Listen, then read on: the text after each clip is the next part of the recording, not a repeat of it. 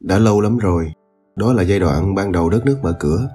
Một thế hệ học sinh sinh viên tìm kiếm những phương trời mới, những gợn sóng du học đầu tiên. Cái thời mà hễ cứ đi ra nước ngoài, chẳng cần biết đi đâu, đã là ót lắm rồi. Với cô khi đó anh cao vời vợi và đầy mơ ước. Nghe đâu anh học giỏi lắm, trong một ngôi trường nổi tiếng nhất thành phố này. Ngoại ngữ của anh rất siêu, khi lũ trẻ con như cô mới tập tành xem nhạc MTV thì anh đã biết hát những bài hát của The Beatles, ABBA và Bee Gees. Trong một lần trò chuyện, anh bảo với cô rằng sẽ đi du học. Mắt anh sáng long lanh khi kể về những điều anh muốn học, muốn trải nghiệm, muốn thử sức. Em biết không, có quá nhiều thứ mình có thể mang về được. Kiến thức, công nghệ, đầu tư, sự văn minh. Nước mình nhiều tiềm năng lắm, chỉ cần những chất xúc tác đó thôi là sẽ đi lên nhanh vô cùng. Anh nói như một giáo sư về kinh tế phát triển. Rồi anh có về không? Cô hỏi. Bố cô bảo những người đã bỏ đi xa xứ, từng nếm trải chốn phồn hoa rồi thì sẽ chẳng thiết về đâu. Họ chỉ hứa thôi, mẹ cô đi xuất khẩu lao động rồi không về nữa. Từ đó đến nay, ông vẫn ở vậy, không đi bước nữa. Lũ trẻ trong xóm vẫn hát treo ông, có vợ mà cho đi Tây như xe không khóa để ngay bờ hồ. Bị ông đuổi, bọn nó bỏ chạy tán loạn. Trẻ con lúc nào cha ác như thế, toàn là người lớn dạy cả. Anh bảo nếu không về thì anh đi làm gì? Anh là cái cây đã mọc bám rễ ở đất này, sẽ không thể nào đi đâu xa lâu được. Vì hoàn cảnh gia đình nên anh đã từng ở nước ngoài vài năm, dù khi đó còn nhỏ chẳng biết gì, nhưng anh không thích lắm. Ở nhà mình sướng hơn và anh ở lì trong nước từ đó đến giờ. Nhưng để ở nhà sướng thật thì phải làm cho nó tươi đẹp và đàng hoàng hơn. Vài năm, vài năm là đủ. Thôi, cùng lắm là chừng này năm, người ta cũng không để cho ở lại đâu. Anh chỉ vào khu nhà tập thể xây từ thời bao cấp và hồ nước ở bên cạnh rồi thốt lên. Cái nhà này là núi, cái hồ này là sông, non xanh nước biếc vẫn đây, thanh sơn bất hải, lục thủy trường lưu, sẽ còn gặp lại. Ôi, cái đồ quân tử tạo. Anh để lại cho cô một tập sách học ôn thi và một quyển từ điển đơn ngữ rất dày. Em đừng dùng từ điển Việt Anh hay Anh Việt nữa. Muốn học tốt thì phải tra thẳng từ điển Anh Anh. Cô vân dạ rồi lặng lẽ cất vào tủ, định bụng khi nào anh về cô sẽ trả lại nguyên vẹn. Cũng cần có người bao bọc, gìn giữ chúng chứ. Trước khi anh đi, cô gửi anh năm lá thư. Một để anh đọc lúc mới sang bên đó, một cho khi nào anh thấy mình khám phá ra điều mới, một lá thư để anh đọc khi nào anh buồn, một để nhớ có lúc anh bị ốm, một lá thư để dành khi anh chuẩn bị trở về. Cô bảo anh không được mở ra trước, sự chờ đợi và đúng lúc mới ý nghĩa. Cô lo lắng cho anh, cô sợ anh sẽ không ăn uống điều độ, cô sợ anh sẽ béo phì, sợ anh sẽ mãi chơi game hay đàn đúm bạn bè mà không chăm lo cho bản thân như một người mẹ lo cho đứa con của mình.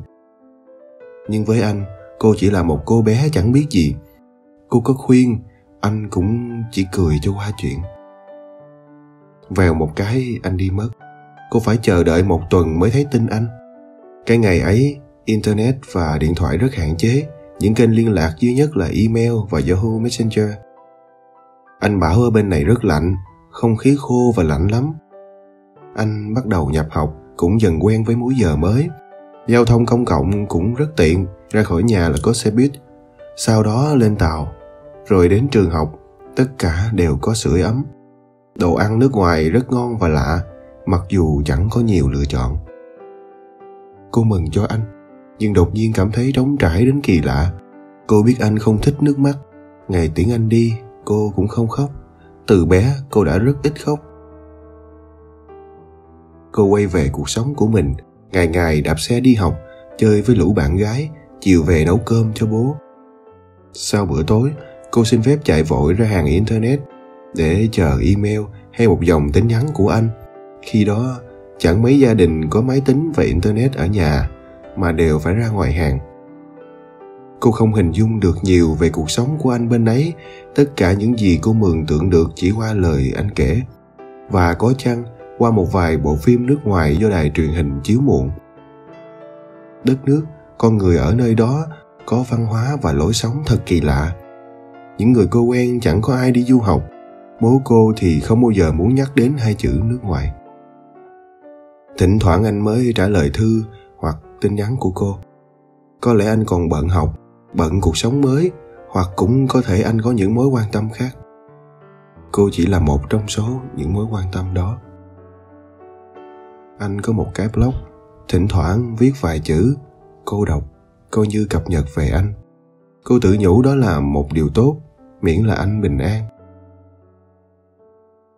Nhưng thời gian trôi qua, cô nhận thấy anh có điều không vui. Những lời chia sẻ của anh với riêng cô và cả viết lên blog dường như bớt tươi sáng hơn. Những háo hức ban đầu được thay bằng thực tế, hóa ra đi du học không dễ như anh tưởng. Ngoại ngữ anh có giỏi đến đâu thì khi lên lớp phải nghe nói, đọc, viết với người bản địa lại là một câu chuyện khác. Và ngay cả khi anh có thể nghe, nói, đọc, viết thì những giao tiếp xã hội với người bản địa lại càng khác hơn. Một lần, anh đứng ở bến tàu điện ngầm chờ bạn thì thấy ba bốn người bước nhanh về phía mình anh quay người lại và bất chợt một ai đó ập tới bẻ ngoặt tay anh ra sau lưng. Một tấm thẻ cảnh sát được chìa ra. Chúng tôi nghi ngờ anh bán thuốc lá lậu. Mùi ẩm của rêu, mặt anh chà sát vào tường. Hai cổ tay đã đặt cứng trong còng số 8 một viên cảnh sát nhanh chóng khám khắp người anh. Anh giấu thuốc lá ở đâu? Anh có hiểu tôi nói gì không? Mọi người cứ bình tĩnh, mọi chuyện đều ổn, chúng tôi là cảnh sát. Anh cố gắng giải thích rằng tôi hiểu các anh nói gì. Tôi là sinh viên tôi đứng chờ bạn. Tôi hiểu các ông nói gì. Còn các ông? Các ông có hiểu tôi đang nói gì không? Lần khác, cũng ở bến tàu điện ngầm, một bà già đang lúi húi với những chiếc vali quá khổ bên cầu thang. Anh bước đến và đề nghị, tôi có thể giúp bà được không? Đáp lại anh là một cái nhìn ngờ vực. Không, đừng động vào tôi. Hãy tránh xa tôi ra. Anh có hiểu tôi nói gì không? Mọi ánh mắt đổ dồn vào anh. Anh bỏ đi như một kẻ ăn cắp suýt bị phát hiện. Hàng ngàn người chen chúc trong bến tàu. Anh đụng phải một cái bụng to tướng, một bàn tay lông lá đẩy hất anh ra. Đi đứng như thế à? Có hiểu nói gì không? Tất nhiên cuộc sống của anh ở đó không phải lúc nào cũng xám xịt.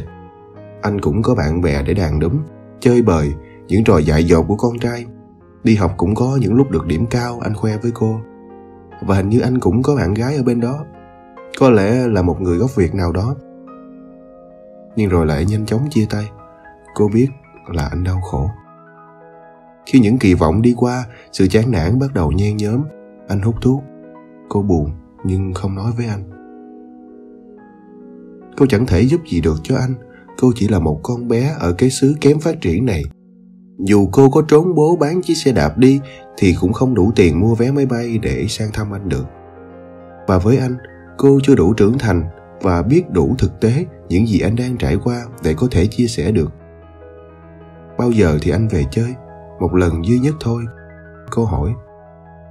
Cũng không biết nữa, về để làm gì? Anh hỏi lại mà không đợi câu trả lời. Rồi anh bắt đầu nổi cáu với cô. Sự cọc cằn của anh đẩy cô ra xa dần. Cô thấy nghẹt thở không chịu nổi. Sự u ám của anh truyền sang cho cô anh có quyền gì làm vậy với cô? Sợi dây giữa hai người cứ thế thưa dần thưa dần rồi mất hẳn. Con đường tách ra làm hai hướng từ đó. Mọi sự thay đổi cũng dần trở thành điều bình thường mới. Rồi cô cũng quen. Cô vẫn sống trong đời sống cũ. Ngày ngày đi học chơi với lũ bạn gái, về nấu cơm cho bố. Buổi tối cô không ra hàng internet nữa, mà đi dạy học cho trẻ con thời gian có thể mãi chẳng chữa lành, không giúp tái sinh, nhưng ít nhất cũng khiến người ta quên đi dần chuyện cũ. Vài năm trôi qua như thế, cô từ một cô bé con nay đã trở thành một thiếu nữ. Sự đổi thay nhanh đến ngỡ ngàng cái xe đạp cô vẫn đi đã được đổi thành xe máy tay ga. Khu tập thể thời bao cấp được xây lại thành một tòa chung cư khang trang. Cái hồ ở cạnh đó được kè lại trở thành nơi người dân đi lại tập thể dục thanh sơn bất cải, lục thủy trường lưu cái xứ kém phát triển của cô, ấy vậy mà chẳng cần anh về, đã có những bước đi rất dài, trở thành ngôi sao tăng trưởng của châu á, thành điểm đến của du lịch, của đầu tư, và trở thành nơi xuất phát của dòng người xuất ngoại bạn bè cô bắt đầu nói với nhau về chuyện đi du học. Những trung tâm ngoại ngữ và tư vấn du học mọc lên ngày một nhiều. Lũ bọn cô bây giờ đã biết đọc TOEFL, IELTS và SAT thế nào cho chuẩn. Hai chữ nước ngoài được cụ thể hơn thành những nước Mỹ, Anh, Đức, Pháp, Nhật, Hàn, Úc, Singapore, Trung Quốc, vân vân.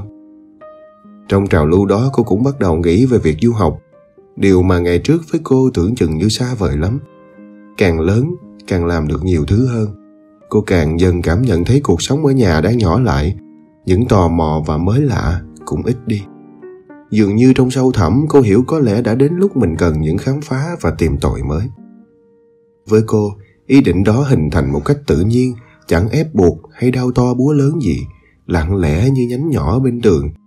Đi để học cho mình khá hơn, mình nhìn thấy nhiều điều hơn. Thế thôi, chẳng cần cứu thế giới hay cầm tấm bằng Ivy League về mà lòe thiên hạ. Nghĩ đơn giản như vậy mà hóa ra với cô, việc đi được cũng đơn giản. Miễn đừng kỳ vọng quá cao, đừng gồng mình căng thẳng, cẩn trọng từng bước, rồi đâu sẽ vào đó. Học tiếng Anh, liên hệ trường, viết bài luận, xin giới thiệu, đăng ký. Có lẽ ở thời của cô, mọi sự chuẩn bị đều dễ dàng hơn ngày trước. Cô được một số trường khá khá nhận học, học bổng mà người ta cho cô không được cỡ chục tỷ để được lên báo trở thành thần đồng đất Việt. Nhưng cũng đủ để cô sống một mình bên đó mà không phải làm thêm bên ngoài. Cùng lắm thì đi xin việc ở thư viện trường thôi, đấu tranh đàm phán một tí, thế là xong. Cô tiết kiệm đã quen, chẳng cần có nhu cầu gì. Quần áo đủ ấm là được, ăn thì ít. Cô chỉ thổ lộ với bố về việc mình định đi du học khi đã nhận được kết quả của trường. Ông im lặng mất vài hôm rồi bảo cô cứ đi đi, đừng lo cho ông. Ông còn khỏe, có thể chăm sóc bản thân.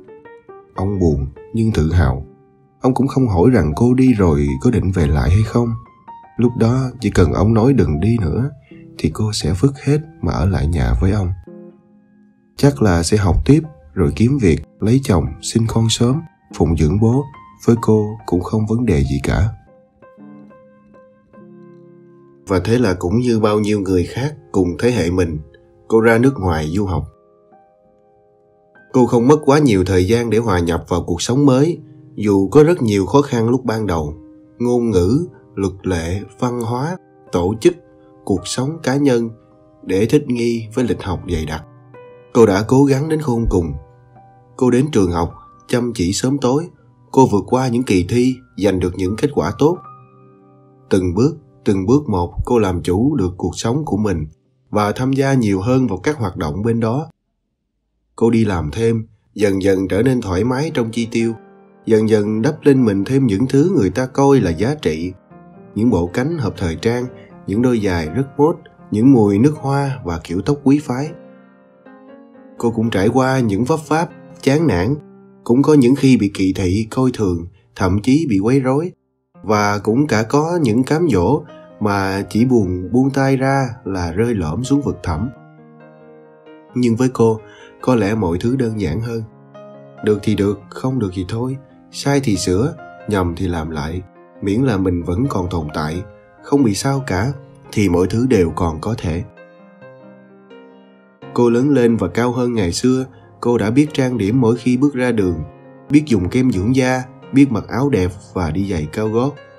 Sáng nhìn vào gương, cô tự nhận đôi môi mình đỏ mọng, ngực mình tròn đầy, thân hình mình thon thả. Đôi khi cô cũng thấy tự hào khi đi dạo trên phố và có những ánh mắt ngưỡng mộ nhìn theo. Vài năm sau đó, thành công nối tiếp thành công, cô ở lại học cao hơn và được nhận bằng của một trường đại học hàng đầu. Nghe ai cũng biết, cô đi làm và được ghi nhận. Cứ như thế, từ một cô bé chẳng biết gì ở cái xứ kém phát triển đó cô dần khẳng định được mình chơi một sân chơi quốc tế đi đi về về cô thuê một căn hộ nhỏ ở nước ngoài. Thỉnh thoảng cô bay về nước thăm bố. Ông vẫn khỏe thế là cô yên tâm. Ông không bao giờ hỏi cô có về lại hẳn hay không. Ông biết câu hỏi đó là lỗi thời. Với một đất nước hội nhập như bây giờ với hàng triệu người Việt tỏa ra khắp năm châu bốn bể, những ranh giới không còn nữa, vật đổi sao dời sau một cơn mê ngủ. Mặc dù cô luôn cố gắng tránh những hư vinh, nhiều người biết cô Thỉnh thoảng có một vài bài báo trong nước nhắc đến cô. Cô được một tạp chí uy tín bầu là một trong những gương mặt trẻ nổi bật. Con vịt ngơ ngẩn ngày nào đã thành thiên nga. Những ngày xưa cũ như thể một kiếp khác.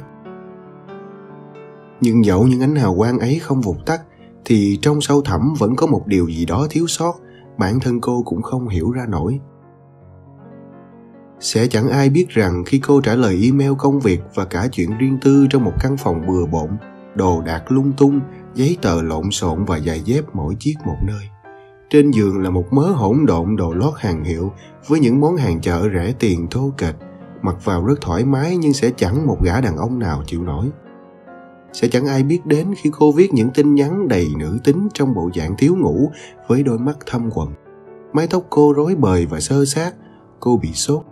Người mướt mồ hôi và bẩn kinh khủng, miệng cô vẫn còn chua mùi dịch vị sau trận nôn hồi sáng và cũng sẽ chẳng ai biết đến cô vào một buổi chiều cuối tuần nghe tiếng chuông điện thoại réo lên liên tục rủ đi chơi phố.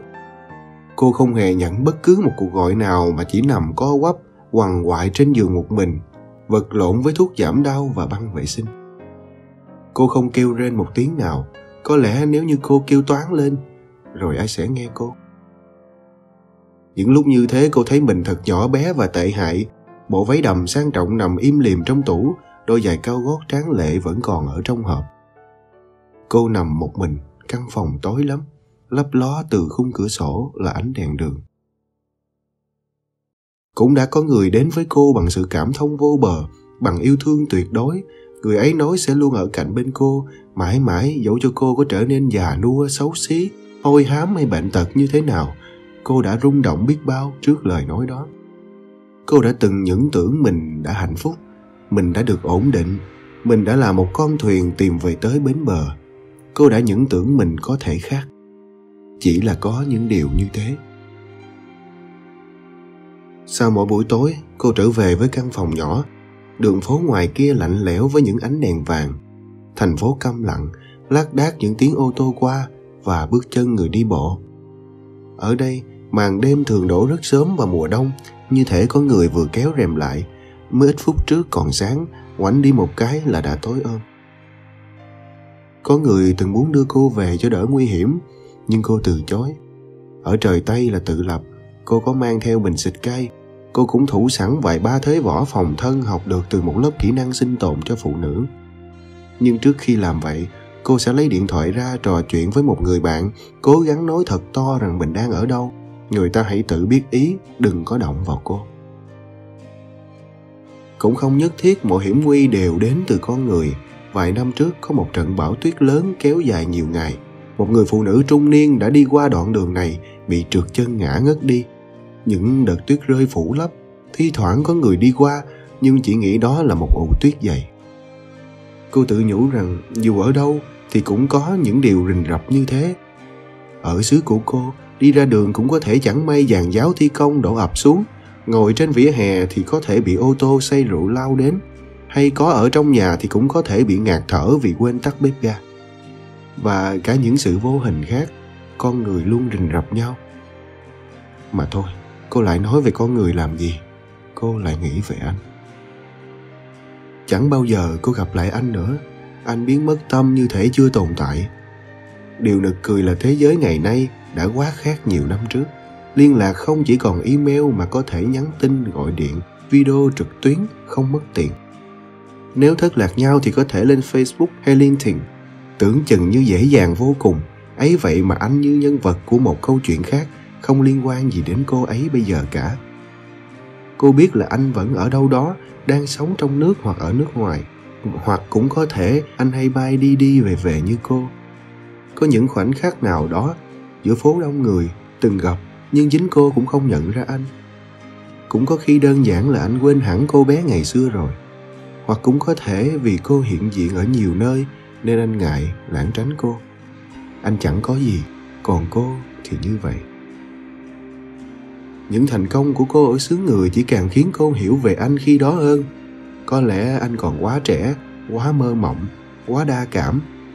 Anh và bố của cô giống nhau chỉ một lần sụp đổ là sẵn sàng buông xuôi bỏ cuộc, coi như là mất hết. Sự bền bỉ là món quà được dành riêng cho phụ nữ việt. Nhưng anh chẳng bao giờ hiểu rằng nhờ có anh mà có cô bây giờ. Quyển từ điển đơn ngữ anh gửi mà không bao giờ trở về để lấy lại đó đã giúp cô rất nhiều trong việc ôn luyện ngoại ngữ. Ánh mắt long lanh của anh khi kể về điều anh muốn học, muốn trải nghiệm, muốn thử sức đã gieo vào tâm trí non nớt của cô những ý niệm ban đầu và những niềm vui, nỗi buồn, sự thất bại của anh trở thành những bài học để cô vượt qua được quãng đường gian nan của chính mình. Thoáng chốc đã đi hết một phần đời, giữa danh và lợi, giữa được và mất, giữa cho và nhận. Anh chẳng bao giờ hiểu, dẫu anh có ra sao, tồi tệ và thê thảm như thế nào, cô đâu có quan tâm.